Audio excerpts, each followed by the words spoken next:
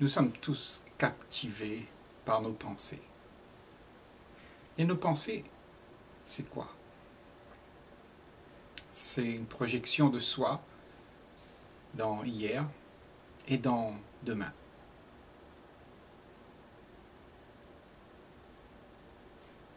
Donc on passe notre temps dans le présent à faire ça.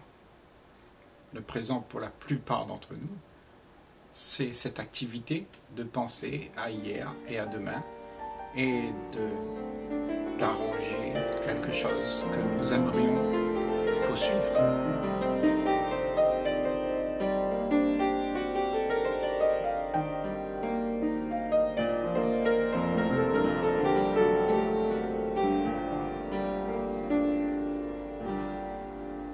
que nous sommes omnibulés, captivés par toutes ces choses qui arrivent d'instant en instant.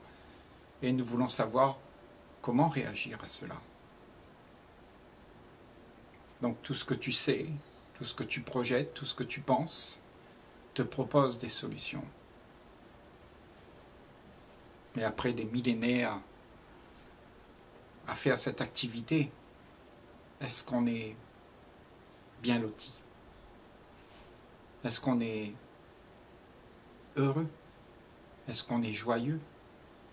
Est-ce qu'on a trouvé la paix? Certes, tu regardes le monde et le monde te le dira. Le monde, c'est nous-mêmes.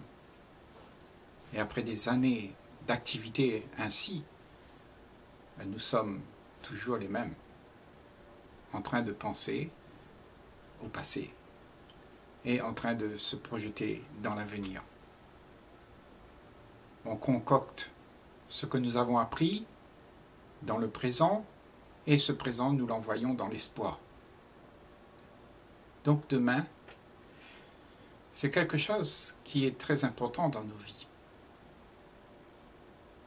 Parce que c'est là où résident toutes nos peurs, nos incertitudes. Et c'est la pensée qui nous y emmène. Donc celui qui pense beaucoup aura beaucoup peur. Peur de ne pas exister, peur de perdre ce que l'on a pu s'attribuer comme réconfort. Donc nous avons tous acquis des béquilles pour traverser l'existence.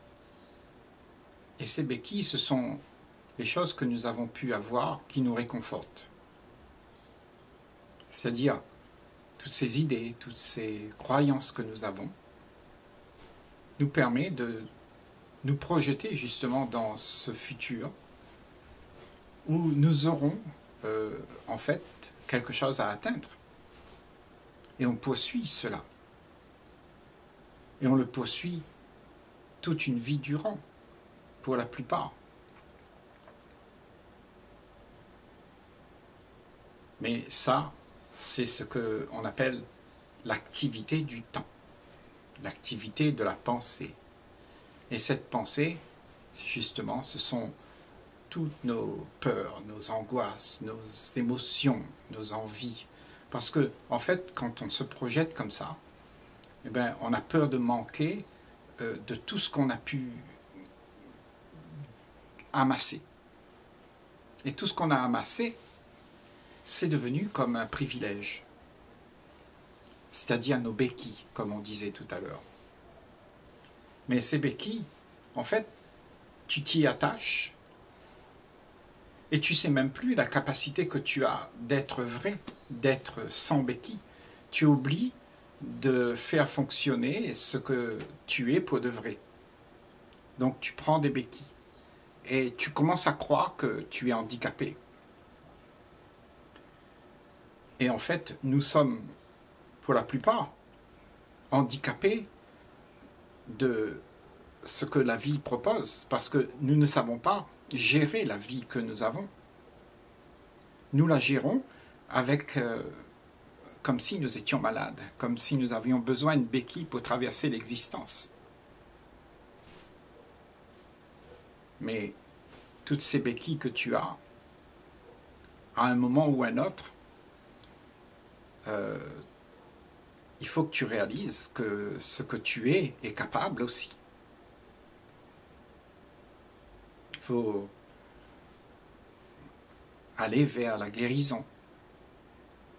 Et c'est tout l'inspiration de chacun de ne plus avoir besoin de ces béquilles. Et ces béquilles, euh, on ne veut pas les lâcher parce qu'on a peur que la capacité qu'on a n'est pas celle qu'on a gagnée, on a pu amasser. C'est-à-dire que toutes ces choses que nous avons mis autour de nous nous donnent un sentiment de sécurité. Et là, si on lâche ça, si on lâche toutes ces béquilles, eh bien, on a peur. On a peur de se retrouver avec rien. Avec soi-même en face de la vie et en face d'une responsabilité que l'on a d'être soi-même, d'être responsable de tout ce qui arrive. En fait, de ne pas attendre sur ce qu'on a pu s'amasser. Tous les privilèges que l'on a, c'est quelque chose qui nous subjugue, nous garde dans le confort, dans la zone de confort. Et nous le faisons euh, avec une ferveur extraordinaire. C'est l'habitude, le train-train, tout se répète tout le temps. Et personne ne réfléchit plus à la condition dans laquelle nous sommes. Nous sommes dans la condition, nous avons abandonné le fait d'être autonome, authentique, vrai. Nous n'utilisons même plus nos capacités réelles. Donc nous ne savons plus qui on est. Parce que on a vendu ce, ce grand pouvoir pour un peu de plaisir instantané. Tu vends ta capacité pour un peu de plaisir. Un peu de plaisir que tu as peur donc après de ne plus en avoir. Tu t'attaches à ce plaisir et en fait tu es esclave de cette béquille. Nous avons tous des béquilles. Et à un moment ou à un autre, il faut qu'on considère de passer à l'âge supérieur. Un enfant, il ne peut pas faire des choses maintenant, mais au bout d'un moment, il faut qu'il s'émancipe. Il commence à se débrouiller tout seul. Et c'est ça la beauté de la vie c'est que nous sommes tous capables de sortir de nos petites habitudes et de, nos train-train, de nos zones de confort, pour pouvoir vivre la vie, mais complètement. Pas la vie qu'on aimerait avoir à travers nos béquilles, nos conforts, nos zones de confort. Mais la vie vraiment qu'il y a, celle qui est jubilante, celle qui passe d'émerveillement en émerveillement. C'est pour ça que nous avons des vies monotones. Nous répétons tout le temps. Nous sommes dans la répétition. Nous passons toute une vie à répéter tout ce qu'on sait, tout ce qu'on a projeté, tout ce qu'on voudrait avoir. En fait, on n'est pas vrai. Il n'y a pas cette authentique présence qui est là pour gérer ce qui surgit. Il y a juste la machine qui fait en sorte que tout se répète et que ce soit dans l'habitude, dans les trains-trains, et qu'on ne soit pas dérangé par la vie qui arrive. La vie qui arrive, ce sont les événements qu'on a fabriqués nous-mêmes et qui reviennent vers nous. Tout ce qu'on a semé, ça revient vers toi. Et ça, c'est la vie. Il faudra que tu passes à travers ça sans te blesser. Et sans continuer à faire exister ce que le monde est aujourd'hui. Et ne pas faire exister toutes ces choses qu'on sème. Ça veut dire tout simplement que tu cesses de semer. Semer quoi? Semer ce qu'on projette. On projette dans l'espoir quelque chose. Et on veut le faire exister. On le fait, on le matérialise. Et tout ça, ça nous revient en pleine figure. Parce que nos réconforts, nos béquilles, elles sont à l'extérieur de nous aussi. Nous avons fait un monde d'invalides, un monde malade qui ne sait pas être authentique.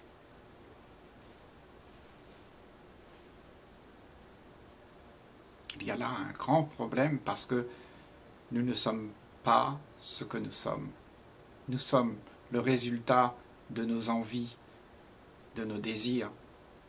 Le désir d'avoir quelque chose sur lequel on peut s'accrocher.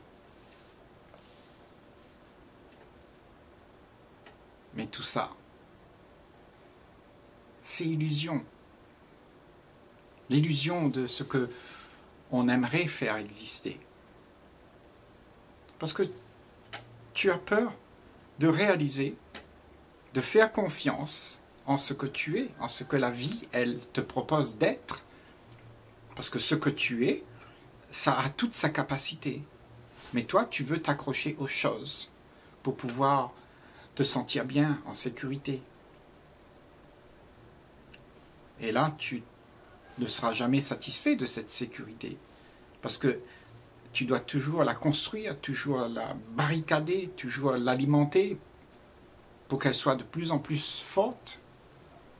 Donc ces habitudes, ces trains-trains, il faut que ça se répète, ces traditions, toutes ces choses, ces cultures, ces, religions, il faut que tu les, tu les alimentes, tu, en fais des concepts pour que ce soit euh, sécurisant.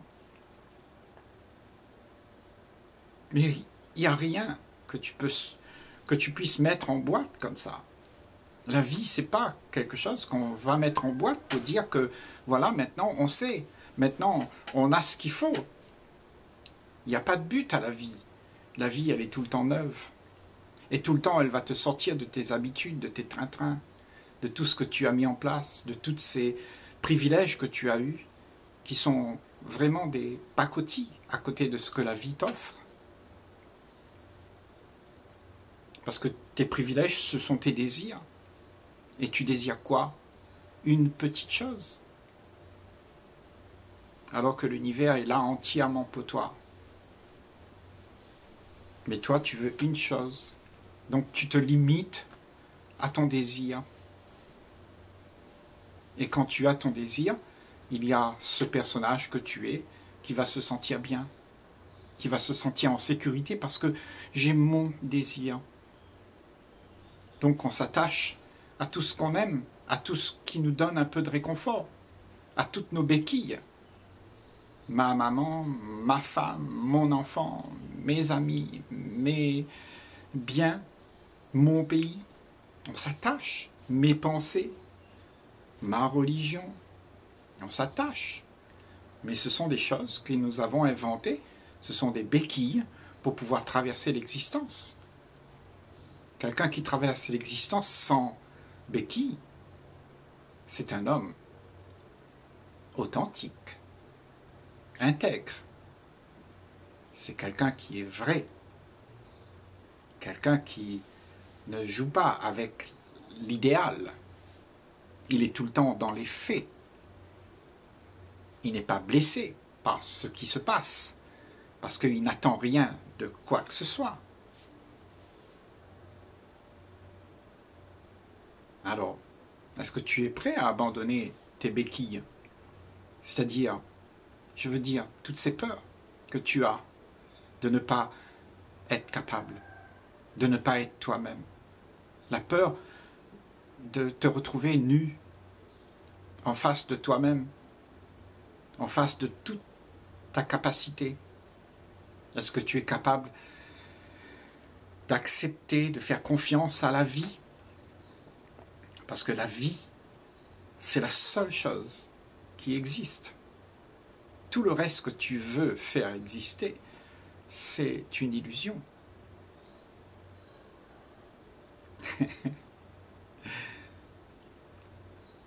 Toute une vie, on a fait ça.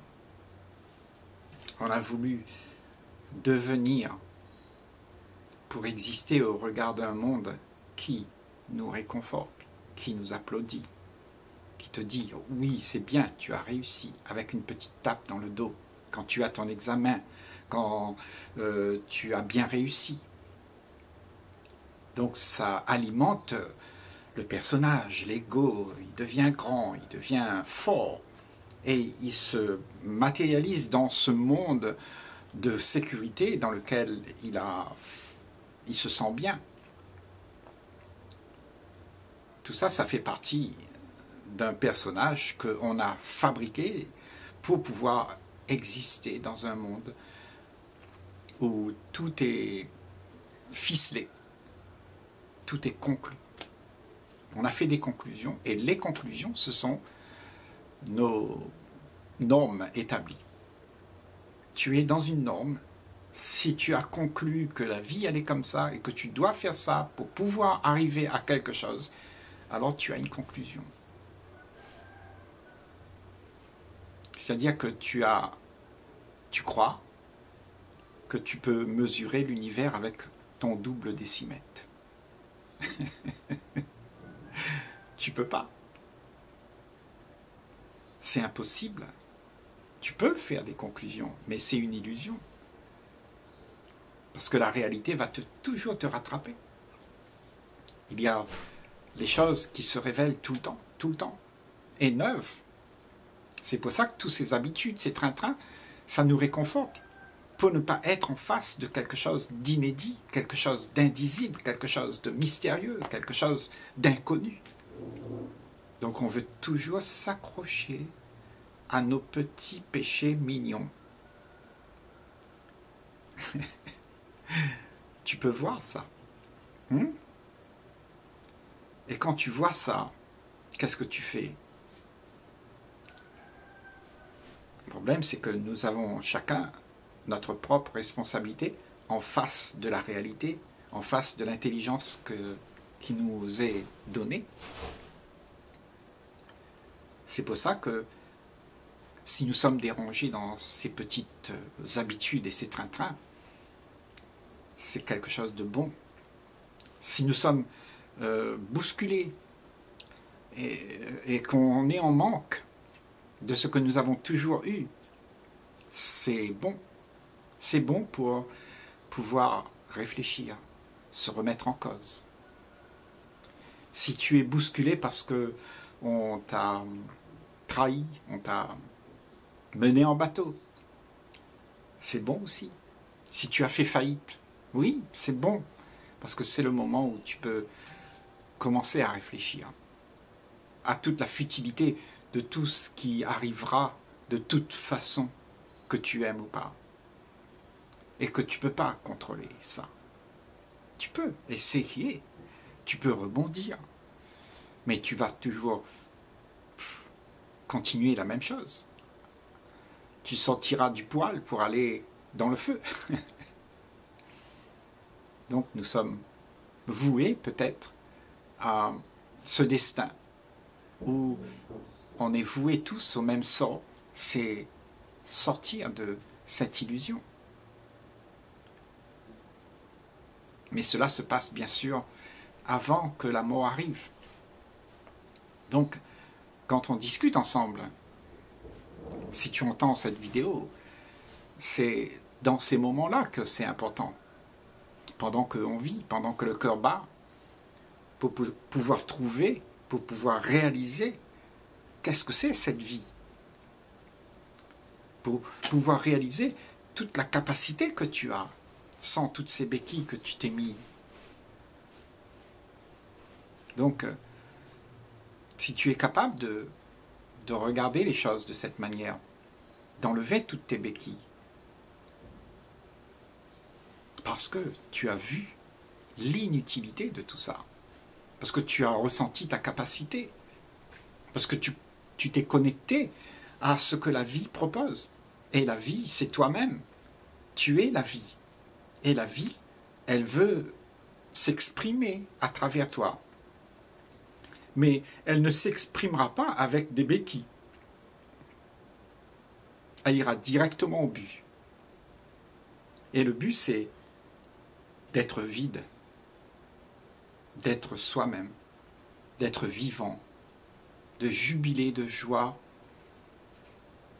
et avoir les yeux grands ouverts avec une perception infinie, mais pas une perception de ce que la pensée propose. Parce que tout ce que tu te proposes, c'est petit. C'est pas grand. Donc ta perception, elle ne va pas au-delà de l'habituel. Et là, on parle d'une perception qui va explorer l'éternité.